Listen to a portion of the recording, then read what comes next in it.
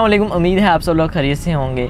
तो जैसा कि मैंने प्लैब वन के बारे में आपको गाइड कर दिया था, जो ये वीडियो है हमारी, वो प्लैब टू के ऊपर है, ठीक है? यानी प्लैब वन का जो सेकंड पार्ट हमारे पास आता है, वो प्लैब टू होता है। ये आपने यूके के अंदर जाके देना होता है, और इसका इस टाइम एक ही सेंटर अवेलेबल है, वो मैनचेस्टर के अंदर है, ठीक है ना? अभी क्या होता है? जैसे मैंने आपको प्लैब वन का पैटर्न बताया था जो प्लेब टू है, ये एक ओस की एग्ज़ाम है। जिस तरह का आपका फाइनल ईयर के ओस की एग्ज़ाम होता है, बिल्कुल उसी तरह का एग्ज़ाम है। यानी मॉक पेशेंट्स होते हैं डमीज़ होती हैं, वही आपकी एमरजेंसी टेक्निक्स उन्होंने सेट चेक करनी है, आपको स्विचेस लगाने आने चाहिए, आपको सीपीआर देना आना चाहिए, आपको कोई अक्यूट पेशेंट है, उसको हैंडल करना आना चाहिए। ये वाले सिनेरियोज़ होते हैं। तो इसके अंदर जो पैटर्न है एटीन स्टेशन होते हैं आपके। हर स्टेशन 12 नंबर का होता है आपका, ठीक है ना?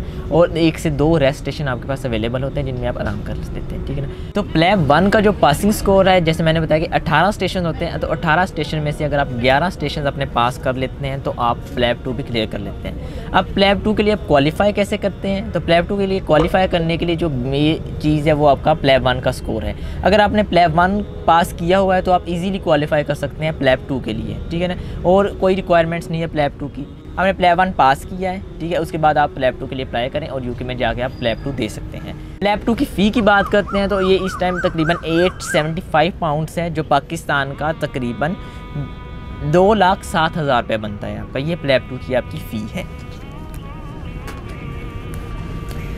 अब प्लेब टू का जो फॉर्मेट है, वो मैं आपको पहले ही एक्सप्लेन कर चुका हूँ, यानी 18 स्टेशन हैं। ठीक है, बारह नंबर का एक स्टेशन है, ठीक है। अब इसकी स्कोरिंग कैसे होती है? हर स्टेशन को जो मार्क्स हैं, उनको वो तीन हिस्सों में डिवाइड करते हैं। जो पहला हिस्सा होता है, वो आपका हिस्ट्री और डेटा गैदरिंग के ऊपर आता है। चार मार्क्स इसके होते हैं। दूसरा हिस्सा है आपका, वो इंटरपर्सनल स्किल्स जो है, यानी आप कम्युनिकेट कैसे कर रहे हैं पेशेंट के साथ, ठीक है। चार मार्क्स इसके होते हैं। जो तीसरा हिस्सा है, वो आपके पेशेंट मैनेजमेंट के ऊपर है, या जो भी आपको सिनेरियो उसको आपने मैनेज कैसे किया, चार नंबर इसके हैं, ठीक है ना। अब पासिंग स्कोर 12 में से आपने 6 लेना है, एक स्टेशन आपका पास है 18 में से 11 स्टेशन अगर आपके पास हो जाए तो आपका प्लेब टू पास हो जाता है। स्कोर इसका भी मैटर नहीं करता प्लेब वन का भी मैटर नहीं करता, आपका पास होना मैटर करता है आगे जॉब्स के लिए, ठीक है? अब आते हैं प्लेब टू अब आते हैं प्लेब टू की तैयारी की तरफ़। तो प्लेब टू की तैयारी जो है वो आप नहीं कर सकते। इसके लिए ज़रूरी है कि आप अकेडमी ज्वाइन करें। तो यूके के अंदर काफ़ी अकेडमीज़ अवेलेबल हैं, जो आपको प्लेब टू की तैयारी करवाती हैं। तो इसके लिए मैं अलग वीडियो बना दूँगा कि प्लेब टू के लिए आप कैसे स्टडी करें, ठीक है ना?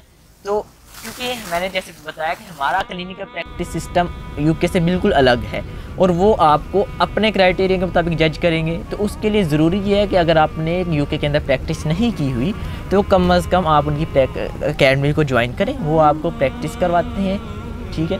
उससे आप इस काबिल हो जाते हैं कि आप प्लेप टू को क्लियर कर सकते हैं। ठीक है? जो इसका पासिंग रेट है प्लेप टू का, अगर इसकी बात करें तो बहुत ज़बरदस्त है। 65 टू 70 के दरमियान में हर साल फॉल करता है। बहुत आसान टेस्ट है, आप आसानी के साथ पास कर सकते हैं इसको। तो मैंने आपको प्लेप टू के बारे में बता दिया कि इसका पासिंग स्कोर बहुत अच्छा है पासिंग रेट बहुत अच्छा है और अकेडमी अपने ज्वाइन करनी है आसान टेस्ट है अकेडमी के बाद आप आसानी से क्लियर कर सकते हैं। आप हिस्ट्री ले लेंगे, चार नंबर से दो, तीन नंबर आपको वहाँ से मिल जाएँगे या आप डाटा गैदर कर सकते हैं, ठीक है? आप अगर आपका कॉन्फिडेंस अच्छा है और आप काइंडनेस और काम नाइस नाइसली बिहेव करेंगे पेशेंट के साथ स्कून से आप बारह में से छः नंबर ले सकते हैं, अगर आपको मैनेजमेंट नहीं भी आती। और जिन स्टेशन पे आपको मैनेजमेंट आती है, उनमें से आप बारह में से बारह भी स्कोर कर सकते हैं तो आसानी से आप आराम से लैपटॉप को पास कर सकते हैं। इसके लिए जो मेन चीज़ ज़रूरी है आपके यहाँ पे वो आप कॉन्फिडेंट हो। आपका कॉन्फिडेंस अच्छा होना चाहिए आपकी कम्युनिकेशन स्किल्स अच्छी होनी चाहिए। आपका बिहेवियर अच्छा होना चाहिए, ठीक है? ये वाली स्किल्स आपको मैटर करती हैं प्लेब टू के एग्ज़ाम ठीक है? तो उम्मीद है यहाँ पे आपको प्लेब टू की मेन चीज़ें समझ आ गई होंगी। इसकी स्टडी का पैटर्न मैं अपनी अलग वीडियो में बना देता हूँ आपके लिए। इसके बारे में आपका कोई भी क्वेश्चन हो कमेंट में ज़रूर पूछें। मैं ज़रूर को आंसर करने की कोशिश करूँगा।